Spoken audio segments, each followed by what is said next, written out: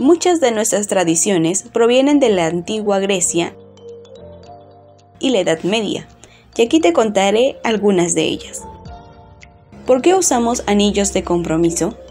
La simbología de anillo como objeto en el que se cristaliza la unión proviene de la antigua Grecia. Los griegos suelen ser el origen más cercano de nuestras antiguas tradiciones. Tomaron la idea de los persas y fueron los primeros en fabricar brazaletes en miniaturas para que los novios las usaran como anillos de boda. Para su colocación se escogió el cuarto dedo de la mano izquierda, el anular. La razón es que antiguamente se pensaba de que este dedo partía de una vena que llegaba directamente al corazón, por lo tanto era el dedo adecuado para colocar el sello de matrimonio. Las supersticiones, el mal de ojo.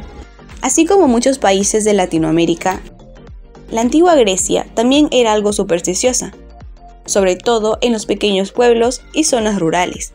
Para ellos, el mal de ojo o matiasma se creaba por la envidia de una persona y producía malestar, y la forma de ellos para prevenirlos era portando un amuleto de color azul. ¿Alguna vez te preguntaste por qué estrechamos la mano para saludar a alguien? Esta costumbre proviene de la Edad Media, ya que encontrarse a un desconocido y saludarlo era un acto de mucho significado.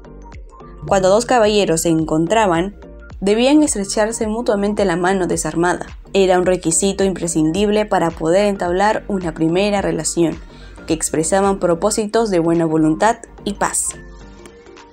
¿Por qué lanzamos arroz a los novios? Desde el mismo origen del matrimonio, o sea, en la antigua Roma, se trata de un rito que consagra o consagraba la unión de un hombre y una mujer para tener descendencia. Con esto se esperaba que el don de la fertilidad no faltase en la flamante pareja. De hecho, son variados los objetos lanzados según la cultura. Granos de cebada en la India, harina y dulces en la antigua Grecia, frutos secos y en otros pueblos del Mediterráneo. Pero siempre está presente la simbología de desear a los recién casados un futuro dulce lleno de fertilidad y abundancia.